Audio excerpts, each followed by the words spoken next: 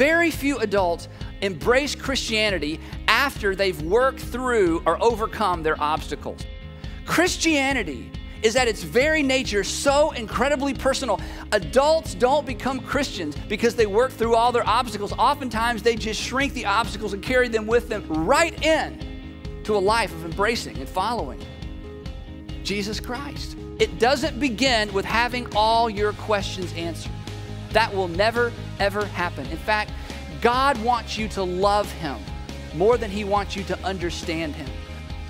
Your Heavenly Father wants you to know Him more than He wants you to know all the answers to your questions. And in time, your questions, some of them will shrink, some of them will go away altogether.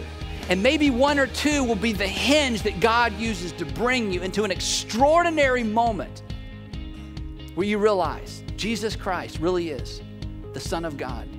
And He's not just the Savior, He's my personal Savior. But it begins not with answering a lot of questions, it begins when you invite Him to make it personal.